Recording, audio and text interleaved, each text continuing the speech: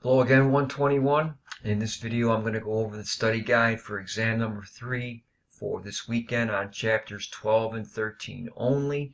What institution in the Middle Ages in Europe was all powerful? It's the Roman Catholic Church. These are very religious oriented times. The serfs and lords of the manor symbolize what type of relationship? The personal. This was the feudal age. What two foodstuffs were introduced from the New World to Europe? Corn and potatoes greatly altered the Europeans' diet and it helped them to recover from the Black Death or the bubonic plague. Aristocratic women in the Middle Ages sometimes joined the monastery. They could become nuns. This was a way out of domestic servitude for them. Thomas Becket was murdered in his own cathedral. An increased demand for the goods of the East was one of the results of the Crusades. Major themes, religious themes, excuse me, were the main subject of medieval art, music, and philosophy, right? The architecture reaching for the heavens, all the icons that were constructed during those times, music, the different hymns that were created that are still used in many religious services today. He regained the provinces of Anjou, Normandy, and Aquitaine from the Plantagenets, and he established a royal bureaucracy, and he also waged war successfully against the kings of England. This was Philip II, Augustus of France. Number nine, they were largely men of war in medieval society. They were divided by extremes of wealth and land holdings, and performing military service for their lords were all characteristics of knights and vassals in the Middle Ages. He tried to reconcile faith and reason. He used Aristotle's philosophy and he wrote the Summa Theologica. This was St. Thomas Aquinas. A medieval guild was an early form of a union. All different craft guilds, carpentry, goldsmith making, blacksmithing, all of these different trades had those organizations, mostly in Northern Europe. The ability to sell property, exemption from military duties, and written laws guaranteeing their freedoms were all the rights of merchants in the Middle Ages, and they will form the building blocks of the bourgeoisie or the middle class in later eras in European history. They played a major military role for their religion. They enforced the tenets of the scriptures, often by force, and they served as centers of learning. These were the medieval Christian monasteries. The desire for military adventure, the desire to gain the riches and land, and to allow the Pope to assume the leadership in liberating the Holy Land, those are all different motivations for the Crusades. In later times, during the age of crisis in the 1600s when all the religious wars are going on, and also in the Counter Reformation, as we'll see. This will become known as God glory and riches as well. Philip II, Frederick Barbarossa, and Richard the Lionheart were all participants in the Third Crusade.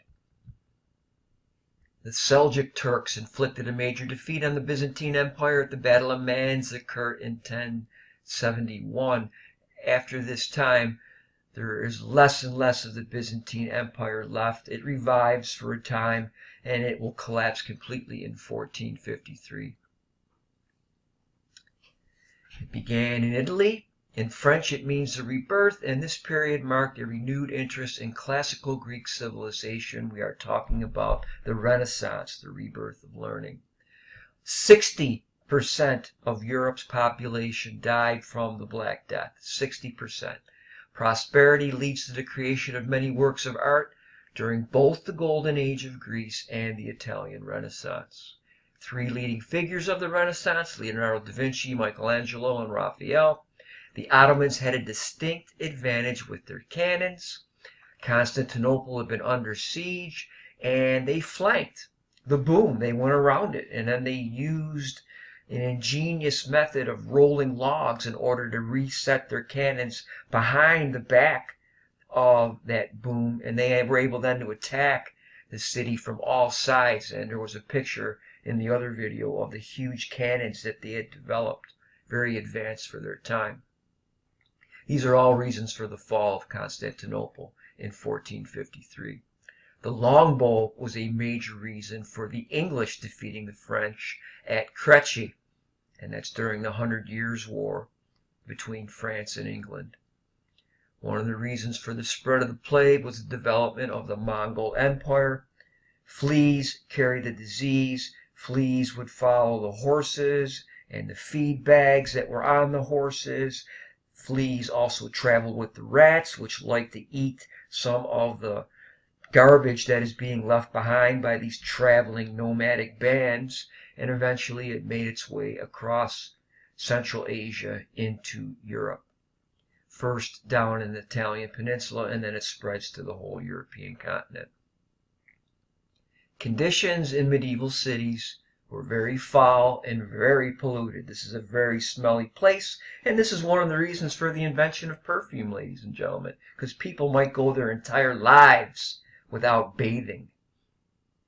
What group accidentally actually benefited from the plague? Peasants, as we talked about, they were able to buy their way out of serfdom in some cases by exchanging their labor services for rent, and eventually they could pay their way out. There was a severe labor shortage because of all the deaths. Jerusalem was retaken after the First Crusade, but eventually it's taken back by forces under Saladin and the Roman Catholic Church and Greek Orthodox Church suffered a schism in 1071. Finally, Joan of Arc inspired the French victory at Orleans. She will later be canonized and sainted, even though at the time she's burned at the stake for being a witch. The Eastern Roman Empire was temporarily restored under Justinian, and dukes, bishops, kings, and barons were examples of the medieval European aristocracy.